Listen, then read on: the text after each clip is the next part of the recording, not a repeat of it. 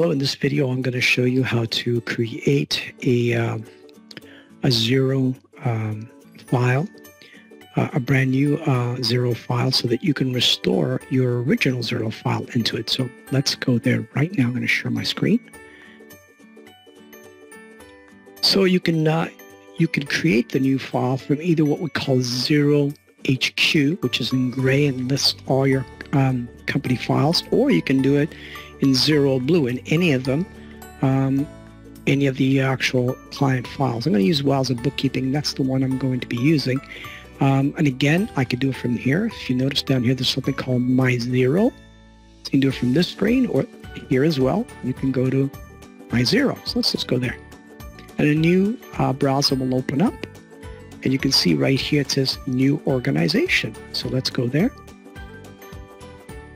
And I'm going to call mine similar to my company name, Wowzer Restore. I'll call it 32 Bookkeeping.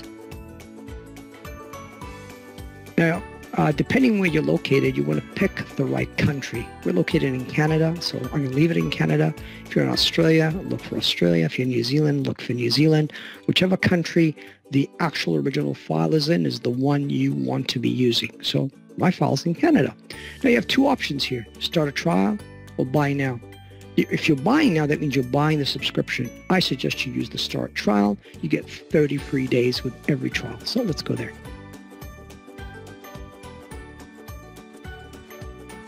I also want to tell you that Xero does not allow you to restore um, your original file. So this is why we have to do a brand new file. Okay, so go next. Most of these will be next. There'll be some things that I want to show you, but we'll go from there.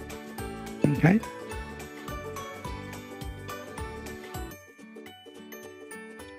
So we can go next here. Skip this one. There's nothing to do here.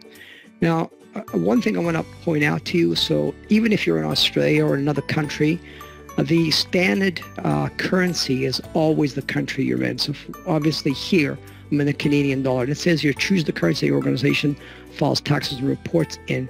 You will not be able to change the setting again after it's set up. So if you're in a different currency, even though you're in you're in Australia, right? For some reason, you're doing it in U.S. dollars or Canadian dollars or vice versa.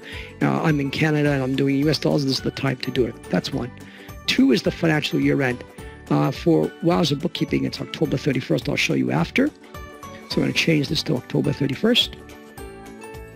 And also you can check your time zone. We're not in Eastern Canada. We're in Pacific, what we call Pacific. So I'm going to change it. Maybe yours is fine when it comes up. So I'm going to change it to that and go next. Uh, you don't want to set up any settings, just uh, invoice settings, keep going. No, skip this step. Same with users, you can go back and do it after. Same with the one before. If you have exchange rates, you can set them up here or you can set them up later. I'm just going to keep going. Same with tax rates. You know, you can just keep going. I'm going to. So this is the one area I want to just stop a little bit. Okay, you can import from a file or use the default. Just use the default and I'll explain to you why after I hit next. So when you're uh, restoring from your original file, you want to bring over the chart of accounts from your original file. So you don't want any of these. So the whole idea is to delete all of them. So click up here, the code, it highlights all of them, and you delete them. And yes, there's 42 in Canada. I think there's 43 or 44 in Australia. Whatever they are, just delete them all. Now, the one thing you'll notice is the locked files, because there's a lock on it, you'll not be able to get rid of those. That's fine uh, because the uh, the restore will work with these anyways. Nothing to worry about, okay? So then you want to hit next. And it'll say no bank accounts added. Yeah, that's true. The reason being is because the uh, your chart of accounts on your original Xero file will also bring in the bank account. So you want to go, yes, continue anyways. Do you want to continue without adding? Yes. Now here you're going to get into what we call the conversion date. I'll show you after where to go get it from the original file. I know mine's October 31st, 2016.